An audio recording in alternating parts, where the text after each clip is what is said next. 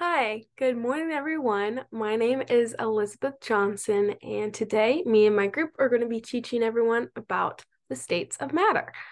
Um, so before we jump into this lesson, I just want to preface that this lesson would probably taught be taught to either first or second graders, probably more so to first graders as it is um, kind of an introductory into the whole unit of states of matter. So just want to preface that.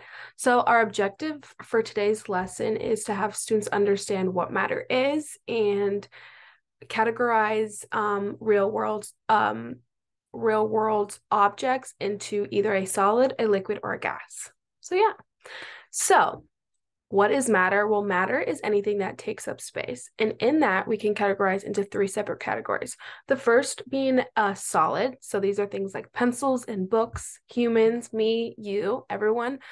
Um, a liquid is things like milk or rainwater or things like that. And then a gas is oxygen or water vapor. So I'm going to toss the rest of the lesson to the rest of my group so they can teach you um, more in depth of matter and solid, liquid, and gases, and you can listen to our song. So thank you. Bye, guys.